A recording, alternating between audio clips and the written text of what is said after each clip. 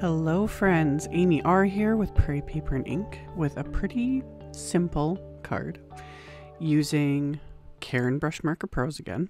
I've been doing several videos with these lately and just having fun with them again. And I pulled out the Forever Yours stamp set from Simon Says Stamp.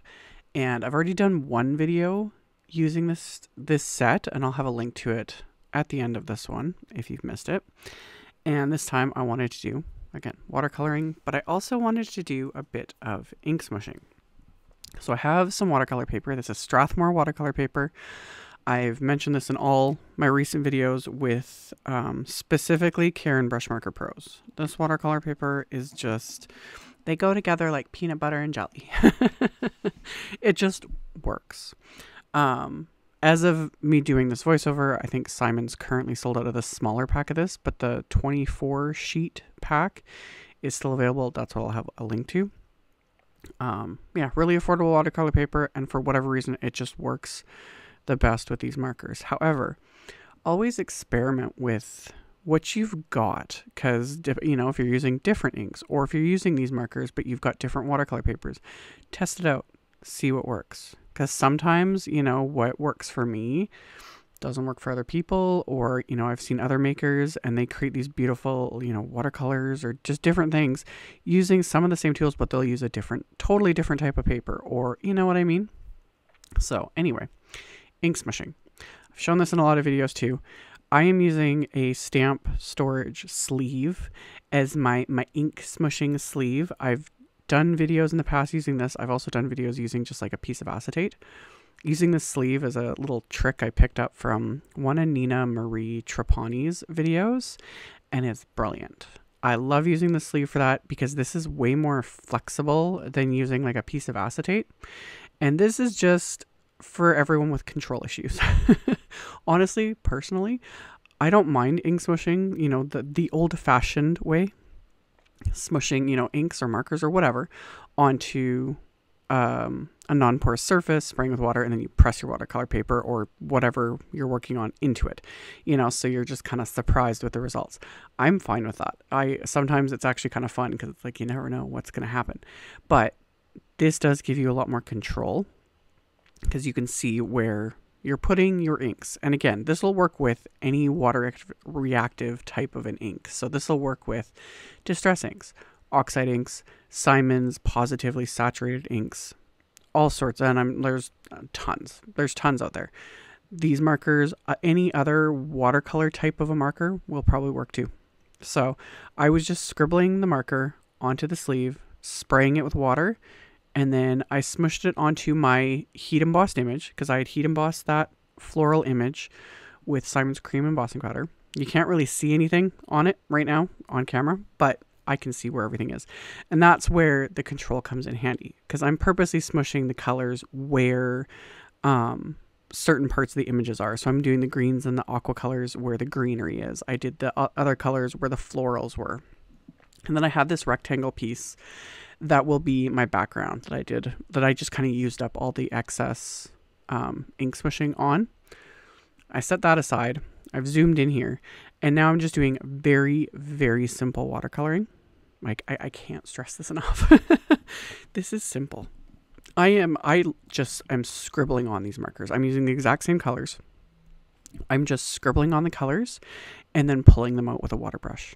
And then with the um, rose images, I do keep kind of going back a bit with the darker, this is the pale pink color, and adding a bit more of that because I wanted more of those like pinky, peachy tones to these florals.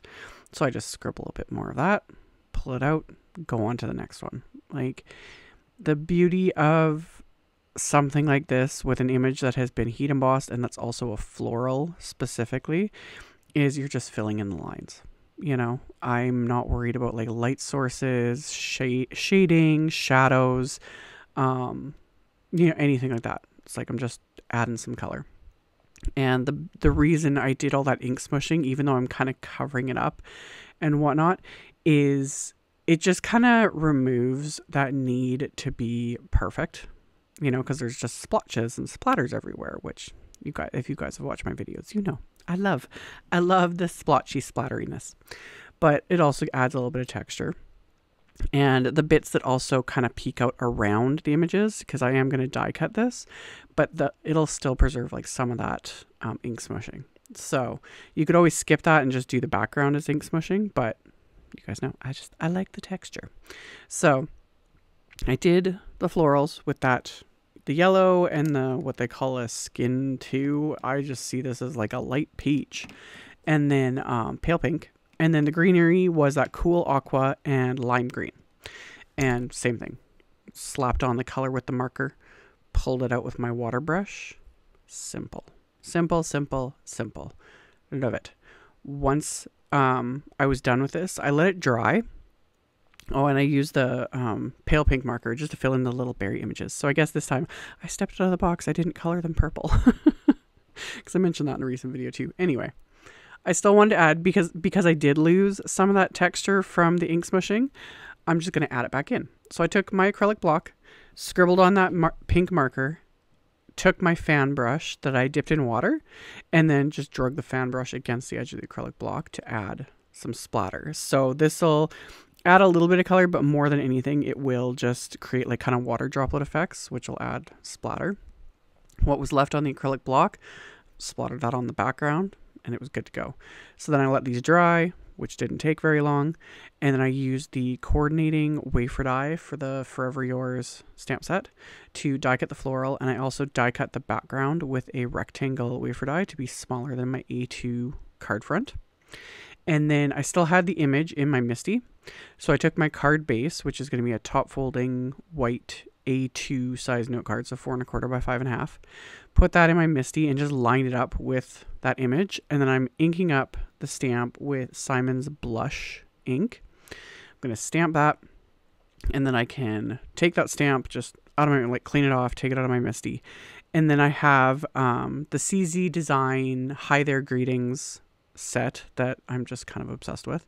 And I have this scrap of coral cardstock. I just flipped through my little scrap bin and I was like, ooh, this color kind of goes with the colors I use. So that's perfect. So I stuck the scrap in there, used my anti-static powder tool.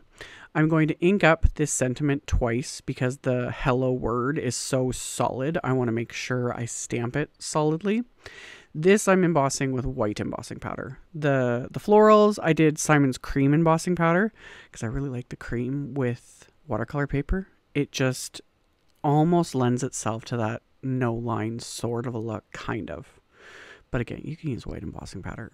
In the end, it's not that big of a deal. Anyway, heat emboss the image. Let it cool down for a second or two wiped off the excess anti-static powder with my microfiber cloth and then I used the coordinating wafer die for this one to die cut it. And then I have another sentiment from that same set. I'm going to line that up just kind of right above those florals that I stamped on the inside of the card and I'm going to ink this up with Simon's Surf ink. So kind of pulling in that like aqua color that I used on um, the front of the card. So stamp that. Once that's stamped I die cut my sentiment. And then to adhere everything, I'm going to use Simon's Big Mama foam tape because this tape is nice and thin, so it doesn't add a ton of bulk, but it gives me a little bit of dimension. So I coated the background with that, and then I kind of use that as my guide. I've just flipped over the florals there so that I don't get the foam tape past the edges of everything because it'll make it easier when I go to trim off whatever is hanging over. And I put foam tape on the back of this as well, because again, this foam tape is nice and thin. So I can do, you know, multiple elements popped up, and it's not going to make this card like super bulky. So I'll get the background adhered to the card front. Once that's adhered, I can then adhere that floral. You could always leave off trimming. I know some people, it really bugs them when I cut parts of like my images off. Honestly, doesn't phase me in the least. However, if it really bugs it, you could just use a larger envelope. It's fine. But I just trim them off so it fits in an A2 envelope. Plus, honestly, when you cut images off, your brain naturally just finishes it when you're looking at it. Anyway, anyway, use the edge of the card to trim off the parts that were hanging over. And then I just tucked that sentiment right in there and adhered that with just some craft tacky glue. And of course, of course I had some matching bling. It took me about two seconds going through my stash and I was like, oh, this one's perfect. This is the Trinity Stamps Topaz Twinkle Embellishment Mix. So I just put a few of those onto the card front and then I'll just adhere those into place with little dabs of craft tacky glue. And then once those are adhered, this card is complete. So just another way to use your Karin Brush Marker Pros or any water-based sort of marker. Um, as always, I will have a link below the video to my blog post, and I'll have a supply list. I'll link to all the supplies I used. You can check that out below if you are interested. Thank you all so very much for taking the time to watch my videos, thumbs upping, commenting. It really does help a ton. Subscribe if you haven't. I'd very much appreciate it. And I will see you all very soon in the next video. Bye!